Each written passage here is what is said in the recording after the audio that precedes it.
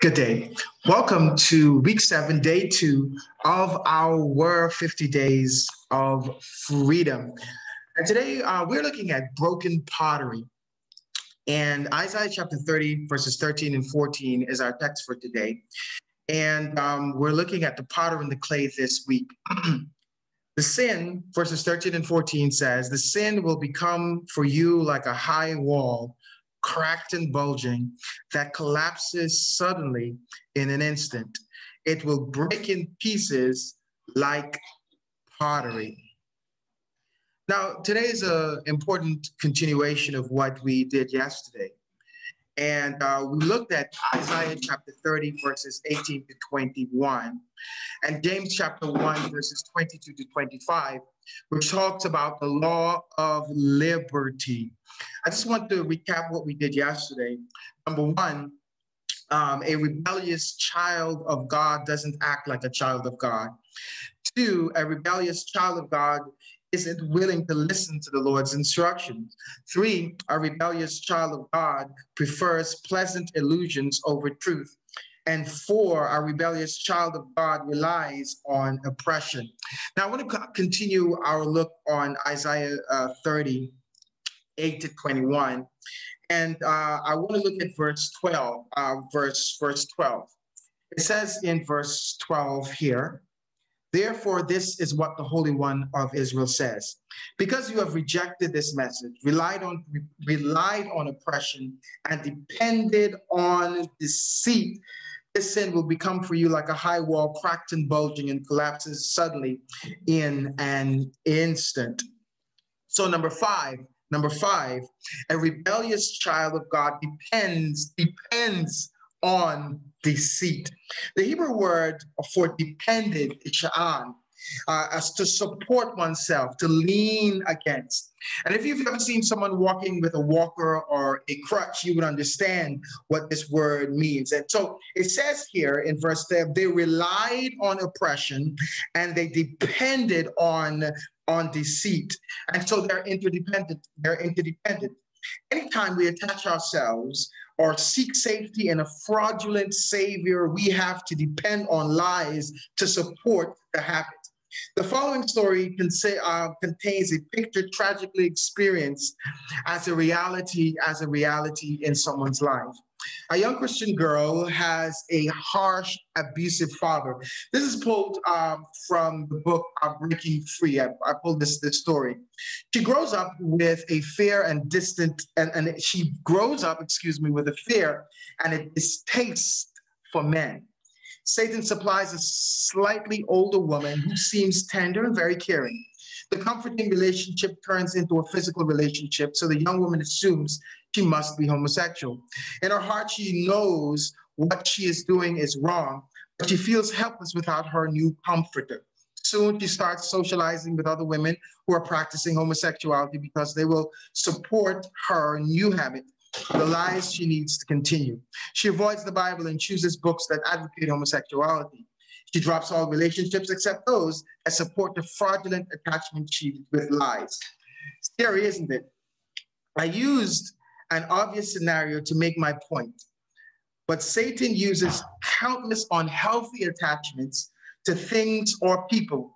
Interestingly, the lost world enjoys characterizing Christians as needy people who use faith, faith as a crutch. Well, how wrong they are in John 5 8, Jesus encountered a man who was lame Christ didn't hand him a crutch. He says, get up and walk. And that's what the Lord wants to do with us. I want you to take your Bibles and I want you to uh, probably pause this video and I want you to read Jeremiah chapter 8, verses 5 and 6 and Proverbs chapter 15, verse 4. And the Bible it will describe to you these verses apply to depending on deceit. And I want you to get that picture in your mind and get that picture. That's Jeremiah chapter 8, verse 5 and 6, and Proverbs chapter 15 and verse 4. Um, but uh, I want to go to verse um, to number six, our sixth point, and I, I want to give you a formula, a formula that can help us as we move forward today. Number six, a rebellious child of God runs from the real answers, runs from the real answers. In verse 15, in verse 15 to 17, listen to this. It says, My eyes, my eyes. This is what the sovereign Lord, the Holy One of Israel says. In repentance and rest is your salvation. In repentance and rest is your salvation.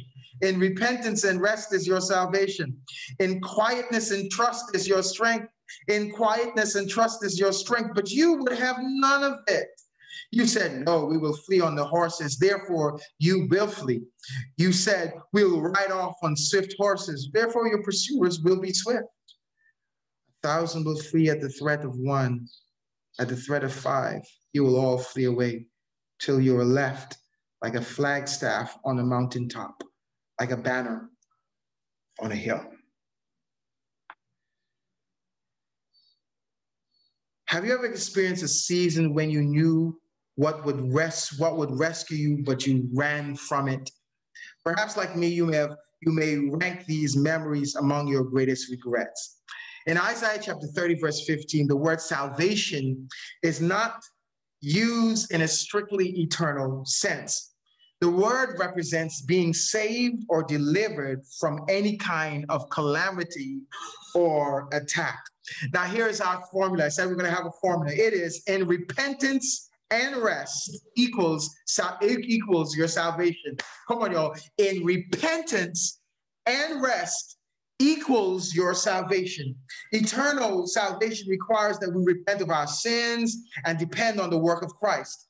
Our need of deliverance does not end, however, once we become Christians. We've been eternally saved, but we need lots of help avoiding the snares and pitfalls on the earthly journeys. The same equation applies in repentance and rest is your salvation. The word returning more accurately translates the Hebrew Shabbat the, the word repentance used elsewhere in God's word usually means returning from sin. But often we omit the next step.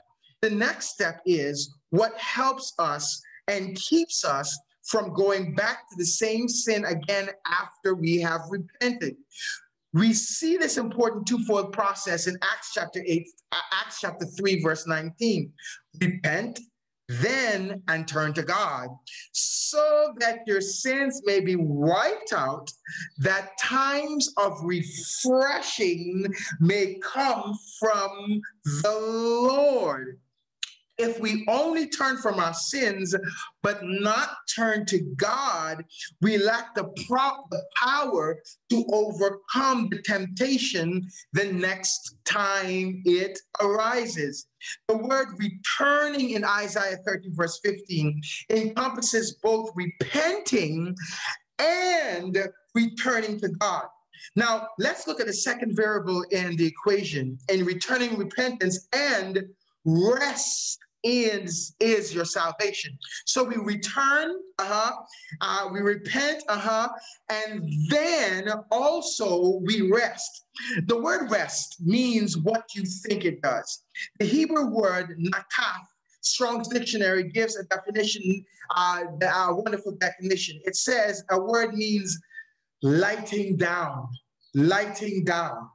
Isaiah 30, 15 is telling us that in returning to God and resting confidently in his promises and power, he will continually, we will continually find salvation. I love the Hebrew meaning for the word salvation, yasha, which means to be open, to be wide, to be free. It is the opposite of star sarar, um, which is to cramp. Yashad draws the picture of a spacious place in which to move. Are y'all with me? I have personally experienced the wide open freedom, hallelujah, of obedience to Christ. I've also known the miserable pinned down feeling of being a rebel.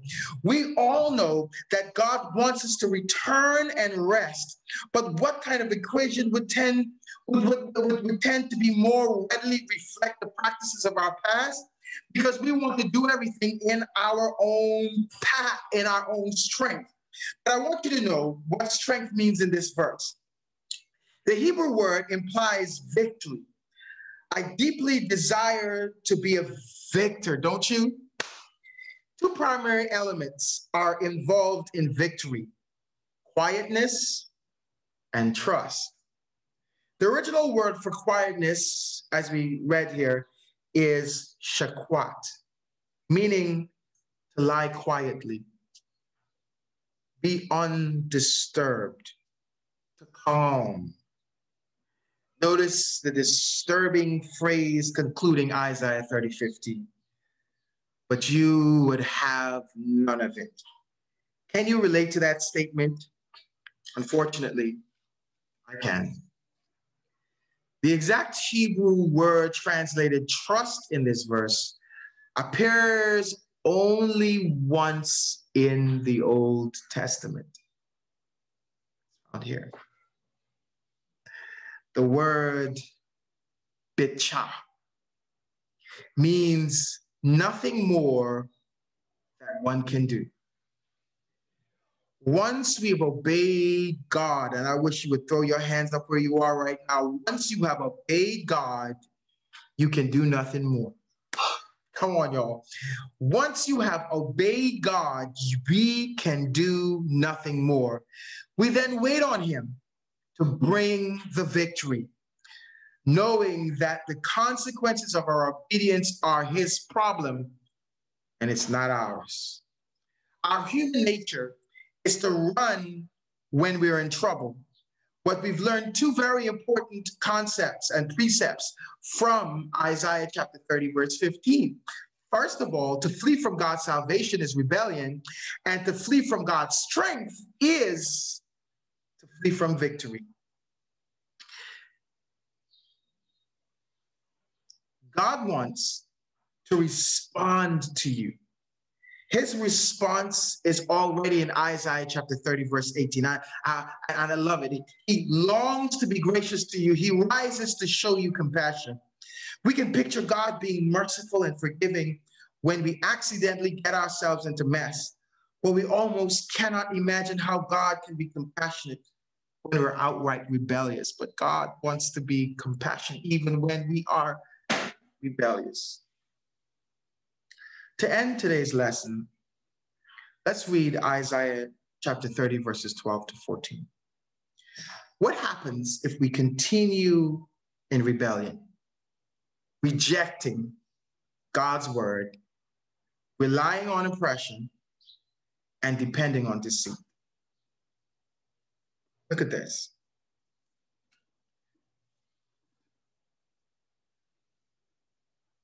Therefore, this is what the Holy One of Israel says Because you have rejected this message, relied on oppression, depended on deceit, this sin will become for you like a high wall, cracked and bulging, that collapses suddenly in an instant. It will break in pieces like pottery, shattered so mercilessly that among its pieces, not a fragment will be found or the taking coals from a hearth or scooping water out of a cistern. You see, the figurative walls of protection around us, around our lives, will crumble like pottery broken in pieces.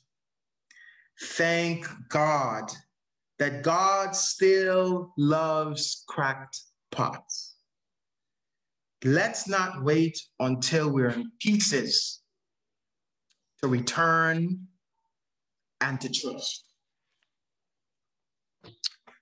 May this word find good ground in your life today.